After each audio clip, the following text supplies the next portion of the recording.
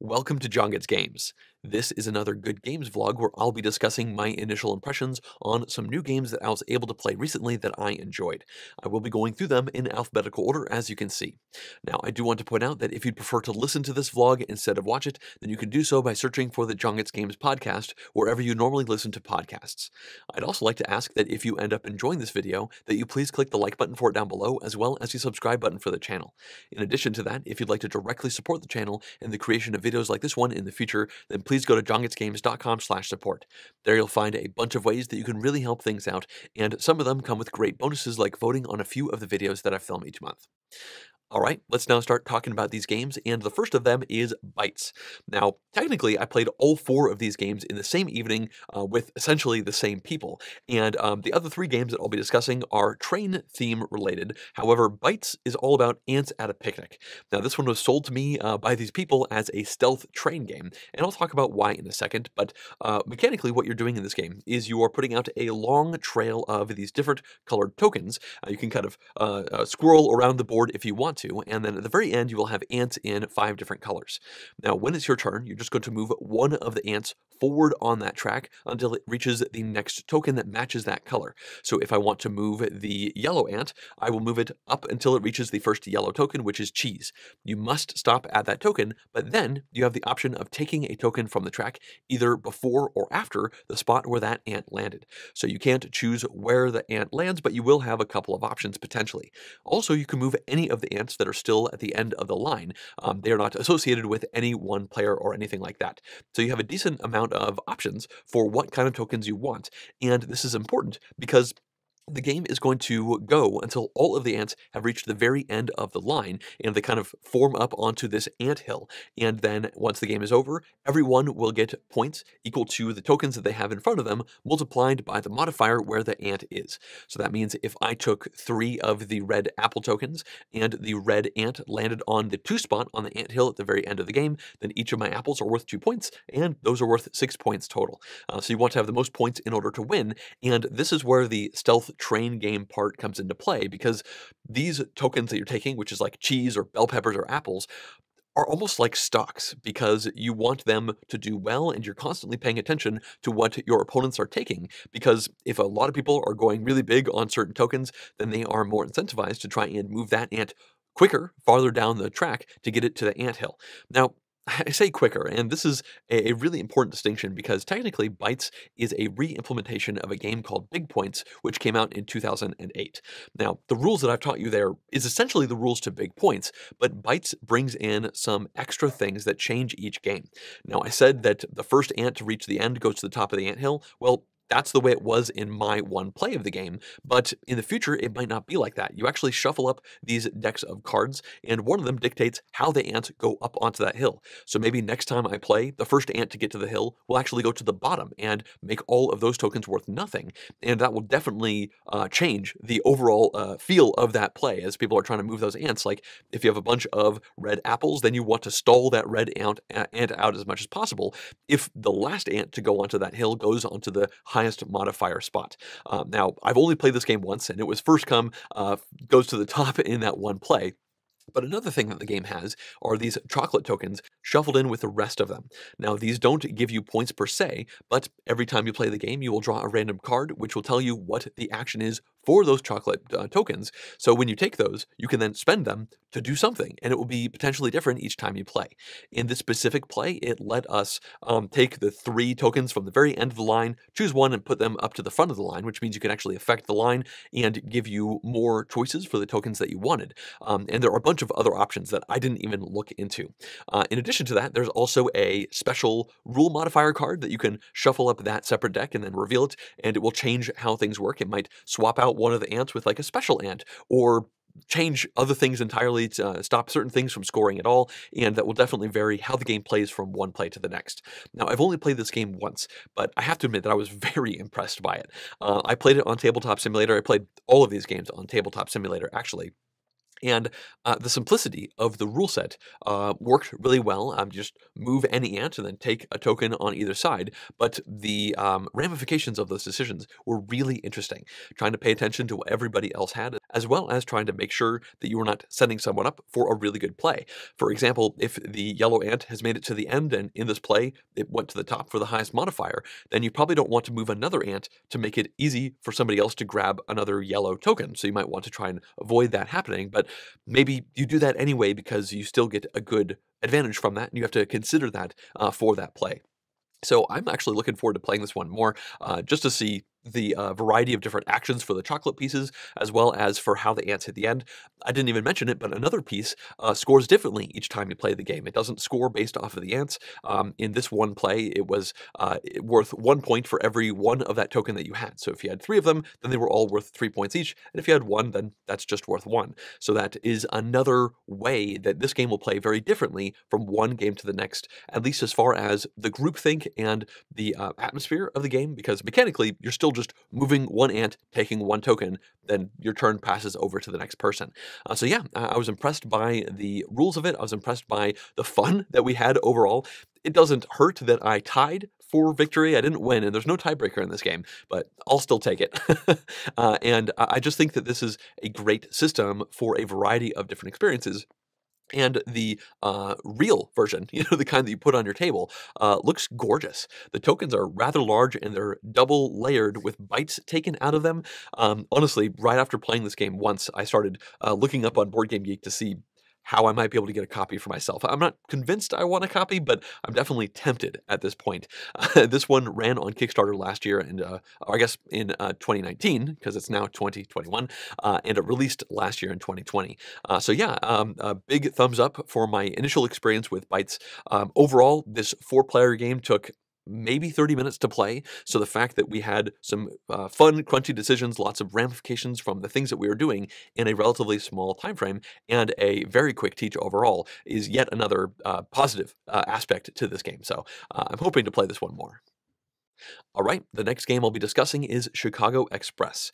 Now, this is a Cube Rails game. In fact, um, this, uh, for many people, seems to be like the go-to classic Cube Rails game. Uh, I've been playing a bunch of Cube Rails games um, over the last couple months. This is the third Good Games vlog in a row, I think, that I'm talking about them.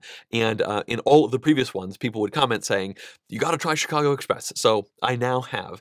And um, at its heart, mechanically, it feels a lot like many of the other ones. So you have a hexagon grid in the middle of the table on a board, and um, in this game, you are going to be buying shares of stock in the I can't remember exactly the, the, the, several companies that come in the game. I think it's four plus uh, another fifth one that can happen later on. Um, and then when you're actually taking your turns, you are going to be either adding track down onto the board or you're going to be starting an auction for another share of stock, which you might win by spending your money, or somebody else might take it, uh, or you can develop a spot on the board, which makes it better for every railroad company that already has a, a token down on there. Um, now, I know I'm glossing over a lot of basics to Cube Rails. I'm going to try not to go through the basics every time I talk about these, but um, in this game, the railroads are not tied to the players. You're just getting shares in these different railroads, and you want them to do well based off of you know how many shares you actually have in them. Now, as you are placing these uh, um, tokens out onto the board, as you're essentially laying track for these companies, you are spending the treasury, the money from the treasury of those companies, and you can put more money into those companies by buying more stocks. So that's definitely a key thing to keep in mind. And in this one play, I've only played it once, but in this one play, uh, early on in the game, I invested a couple of times in the blue company and nobody else did. And then because of player order and whatnot, the red company, uh, train company, came through and blocked blue off in a pretty big way. Um, many of the spots on the board can only have one train on them, and red really uh, uh cut off the main avenue that I was hoping to do. Um, I remember in that moment, some people were like, well, blue is potentially dead for this game, but I had hope. well, actually, more like I had sunk cost fallacy because I had already invested in this company a couple of times. So I was going to make blue work. And because of that, I kind of redirected my effort and went around this mountain range. And blue ended up being a very lucrative company, which was a very cool thing to see. And that's a big thing that I enjoy seeing in these Cube Rails games is because um, things aren't always a foregone conclusion. Sometimes you can make things work. And by doubling down on that company, other people decided that maybe it was actually worth investing in it, so they would buy stock, and now multiple people are helping that company out. In fact, um, I was pushing the blue train so much uh, throughout the game that I kind of forgot that it wasn't my company. And near the very end of the game, one of my opponents bought enough stock to equalize me in the stocks, which meant suddenly I everything I did for the blue train helped an opponent out equally. Of course, there were several of us around the table, so by doing that, I wasn't helping the other people, but this is just a, a standard thing that you see in these games. Um, now, I've glossed over a thing that really makes uh, Chicago Express cool, and that has to do with the action selection. So I briefly said you are going to be laying track, developing, or you are going to be starting auctions. But the way you do this is there are these dials on the board for each of those, and you move a little token over to the right when you select that specific action. Now you can only select that action if it can move over to the right. They are dials, so once that specific action has been selected um, enough times, it'll reach the very far right spot, and no one can do that action until the overall round ends. Now, the round ends once two out of those three dials have reached their maximum level. So that means everyone has maxed out on auctions and developing, or building and auctions, or, you know, all of those different combinations. And at that point, all of the dials reset, and everyone gets paid out dividends for the stocks that they have based off of the income level of that train. And the railroads increase their income as they lay track out on the board, or at least that's a very simplistic way of saying it. So, uh, a big part of this game is looking at those dials and trying to work them to your best advantage. Uh, maybe you actually do an action that's not amazing for you, but just to stop your opponents from actually getting to that action before the next uh, dividend phase happens because you peg it out.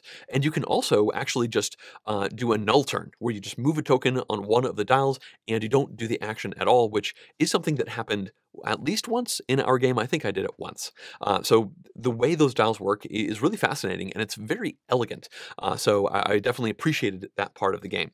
Uh, now, this game is called Chicago Express, and because of that, Chicago is on the map. And another big part of this game is the idea that when a train reaches Chicago going from the uh, east all the way to the west, that company gets an immediate bonus dividend payout. And the first time this happens, the Fifth Railroad, which is the Wabash Cannonball Railroad, um, become uh, comes into play. Um, you have an auction right there in the middle of the game. Somebody takes one of the two stocks, and now that train company can also be run. And it's very close to Chicago, so you can try to get it over to Chicago, which is a very lucrative spot to go to. Now, that's something that can happen, and that's something that probably usually does. But in my one play of Chicago Express, none of the train companies actually reached Chicago, which is honestly pretty fun. uh, another thing that I like about these Cube Rails games is you might have an expectation for what's going to happen, but based off of the actions of all the players, sometimes you have some pretty silly things uh, end up happening. Um, in this play, the yellow train company swooped along the bottom of the map and was getting quite close to Chicago, and um, when it, it, seemed like it was inevitable that yellow was going to reach there, I paid a lot of money for the final yellow stock, I think it was. It was just one yellow stock, but it was better than nothing, I thought, because yellow was going to hit Chicago and have this big payout, and I wanted to be a part of that.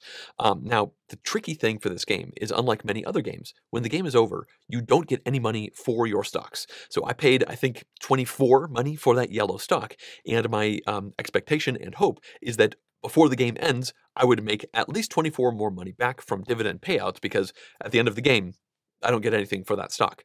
What I didn't anticipate happening was the fact that because I took that stock, it changed the um, incentive structure for the other players, in particular the player who had a majority of the yellow stock, and they decided not to go to Chicago.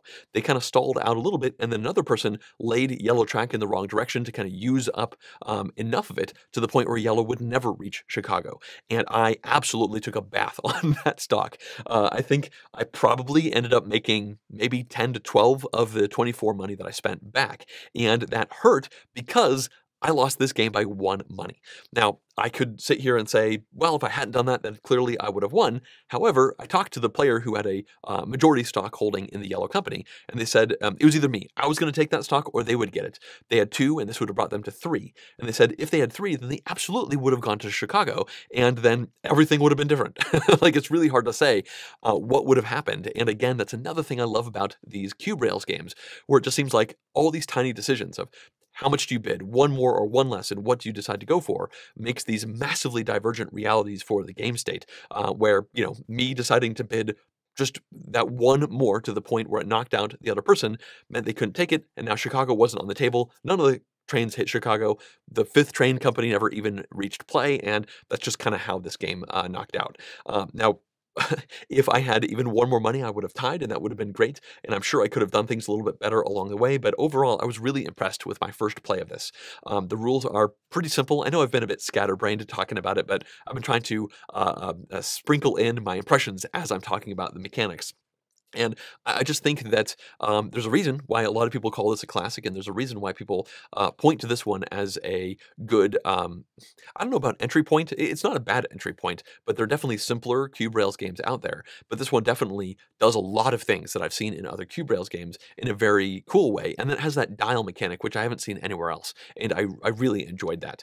Uh, so yeah, I'm hoping to play Chicago Express more. I wouldn't say it's my favorite Cube Rails game after playing it just once, but I am interested to play it more. I'd like to see a game where one of the train companies actually reaches Chicago. I'm sure that's uh, certainly going to vary things up. And it's my understanding that that usually happens. So maybe we were just playing a little bit weird, but you know, that's a thing I like about Cube Rails games. Uh, they can definitely go a bit weird. Uh, so yeah, hoping to play Chicago Express more in the future.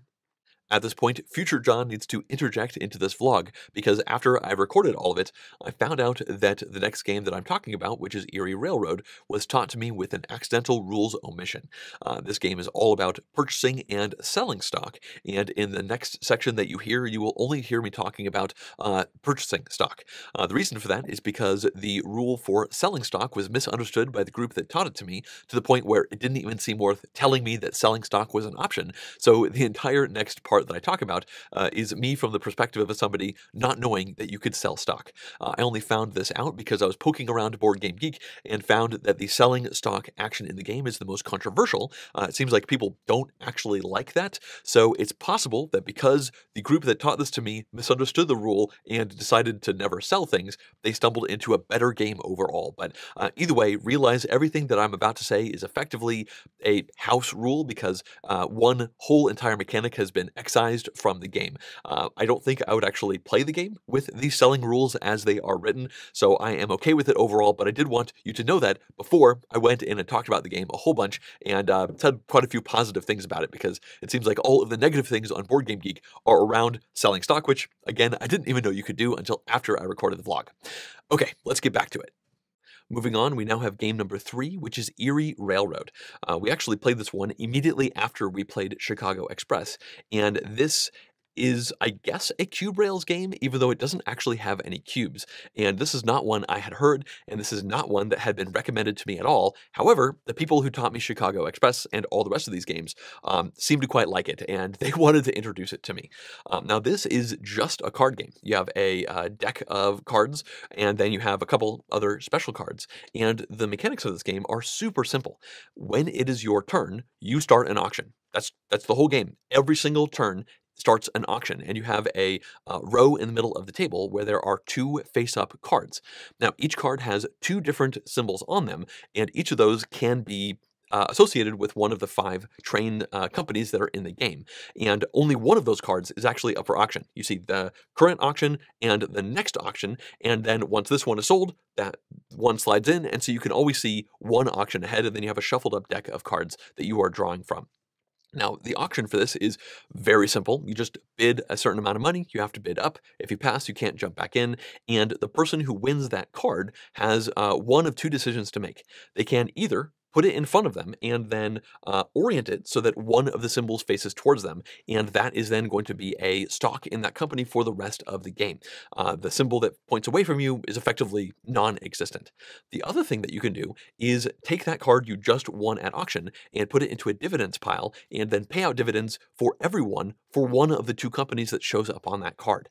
Now, the way the dividends pay out is also very simple. Um, you count up the number of stocks owned for that company, and then every stock is worth that much. So that means if there are three red stocks out there, then every red stock is worth three uh, money, and you just put that right into your uh, treasury, and then you can spend that on future auctions. So this game has a bit of a tableau building uh, uh element to it, because if you're not putting cards down in front of you as stocks, you're never going to get money out of uh, dividend payouts, but it also has a really interesting arc. So at the start of the game, nobody is paying out for dividends because you don't have stocks. So you're trying to not pay too much for these uh, different stocks. And you also have to be very careful not to be the only one trying to take stocks of a certain type. Uh, the reason for that is because if you have, you know, three red stock in front of you and nobody else has any of it, um, they are obviously not going to be discarding those cards in order to pay a dividend for red because you're the only one who would get any benefit from it. And the problem is that if you just invest in that, you might have spent all your money on those cards, so you don't have enough money to win another auction to make red happen to then do a dividend to get all of that money. So you have to make sure that you are taking enough stocks but not overcommitting. You want to kind of spread out a little bit so that you get some benefits when other people decide it's in their benefit to do a dividend payout. And all the while, you're trying to make sure you don't have a liquidity problem. Uh, now, we played a four player game of this, and it was um, as strange and wacky as they uh, uh, build it to be. Um, they gave me a lot of advice, which I really appreciate because they've all played this like 10 plus times, and it was my first time. So early in the game, I said things like, should I bid on this? And I got some really good advice. So I, I appreciate that they were uh, kind to me in this uh, circumstance. Um, but it, it definitely honed in on the stock buying and holding mentality of these Cube Rails games, where you are essentially cooperating a bit with your competitors, uh, oftentimes trying to streamline behind them. Like somebody has two of that stock and you have one. Well, they're probably still going to run dividends for it because they get twice as much as you do, but you still probably get more than other people who have zero. Um, but also, if everyone invests in that company, then maybe people just don't run dividends for it because it's too spread out and it's really not worth it. Uh, certainly not worth spending money because you have to pay money to take the card to then run dividends for it. So you might spend more money that you even than you even make for dividends, or at least that's something that you could do, and you have to really make sure you don't do. Um, now, one thing that can happen in this game, and we did see it in this one play, is you can have a liquidity problem where you overcommit, um, you run down your uh, money total to zero or one or two, a very low amount, and then you're kind of out of the game for a while because you don't have enough money to win any auctions. Um, you're just constantly passing as other people have more money, and you are just sitting there biding your time until somebody does a dividend payout for some stock that you have in front of you. And it's possible that that might never happen for the rest of the game. Uh, this is a quick game. I think it took maybe 30 minutes to play, but you can certainly dig yourself into a hole that you cannot get out of. Um, and uh, they advised me on that to make sure it didn't happen, or at least to to help make it unlikely for it to happen to me, and it fortunately didn't. But one of my opponents who has played this a bunch did have that happen to them. At least they probably went like, you know, five or six rounds in a row where they couldn't really do anything until they finally were able to squeak out some money from a dividend payout from somebody else, and that got them back into the game. Now, I lost this game. I think I came in third out of four, which is kind of interesting because um, for about a third of the game, I had the most money out of everybody, and I felt like I was in a pretty commanding position. Um, I think it's possible that I was. I just didn't know how to play this game very well to actually capitalize on that, but also there was a run of cards that just kept having the Erie uh, Train Company come out, and I was the one who had invested in that more than anybody else. Um, so I had a money advantage, and I was able to spend that money to win auctions to keep running dividends on Erie. But my opponents kind of bled me dry on it. Uh, every time I ran uh, the dividend for Erie, I think I made 12 money, but I was having to spend like 8, 9, or even 10 money to win the auction to run dividends, which means I gained 12 but spent nine. That means I only made three money. And one of my other opponents, who had a single share, was getting four money for that um, uh, for that specific stock. Uh, don't run my math a little bit. I might be screwing this up, but there were definitely points where my opponent netted money on me even though I was winning the auctions and even though I had more stock because I was just maybe bidding too much. Um, so overall, I, I, think this was a pretty impressive game as far as the uh, the settings that it put you into. Um, it's definitely um, potentially uh, catastrophic if you play this one wrong, but it's also rather quick, which I appreciate. Um, and I could see how this one would be divisive.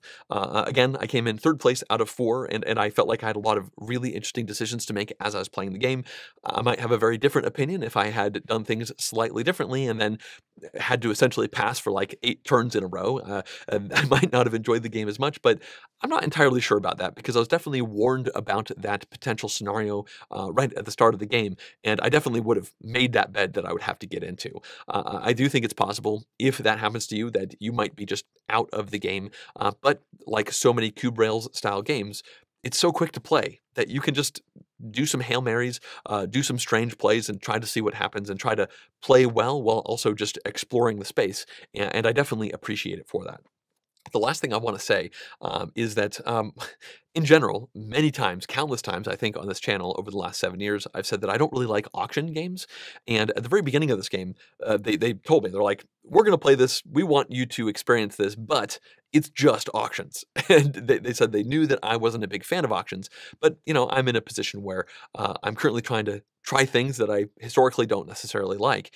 And um, I was impressed by how much I enjoyed the auctions that were in this game. And I think a big part of that is because the auctions are very tight and rather small for the most part. Like, you know, somebody bids four and everybody groans, and somebody goes crazy and bids five at certain points in the game. Uh, later on in the game, you might bid, you know, even 12 or 13 if it's something you have a lot of stock holdings in, but the bidding amounts are low, and, and that's what I like. It's not one of those games where it's like 55, 56, 57, and you could go up to 100. Um, it's much more granular, which I, I do uh, think endears me more to it as far as an auction game is concerned.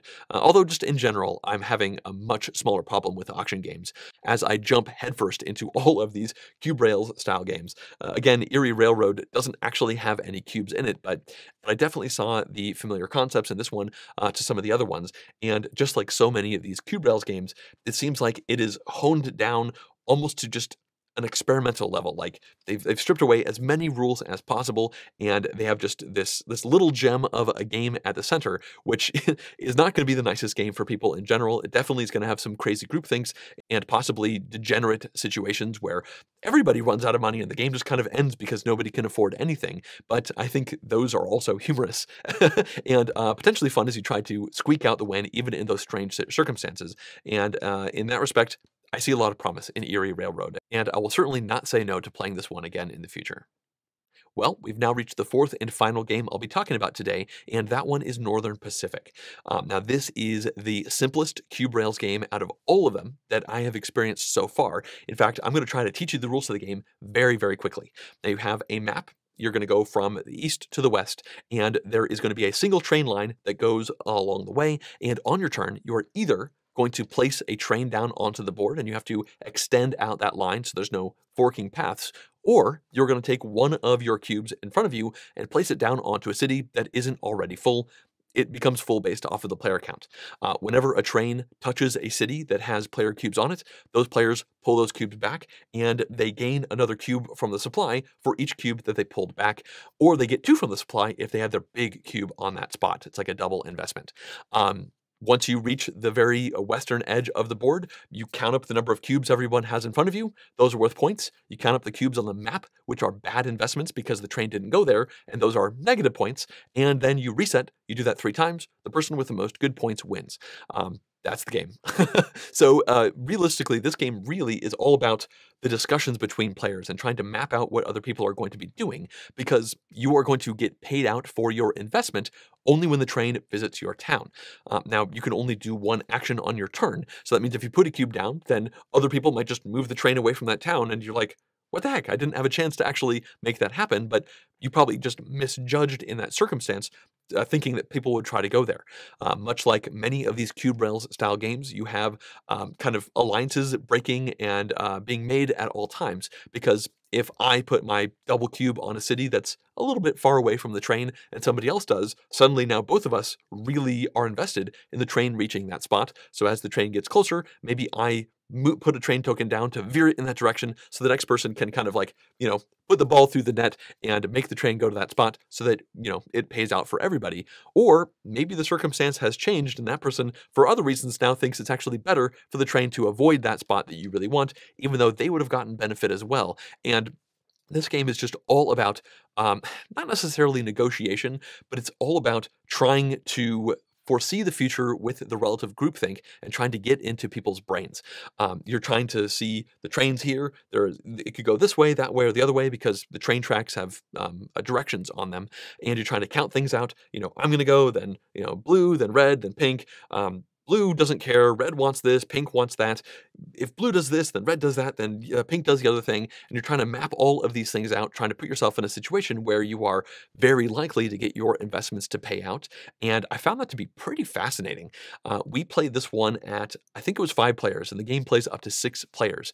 Uh, so that means you do one thing, and then four things happen before it's your next turn. So that feels somewhat chaotic, and it feels like you aren't necessarily in control, but you do have your decision to make on your turn. I mean, when you move the train, it's neutral. Um, you want to move it in a direction that helps you out, and in order to do that, you probably want to have cubes on the board, or if you don't have cubes on the board, then maybe you intentionally move the train in a direction that hurts other people who you think are your competitors.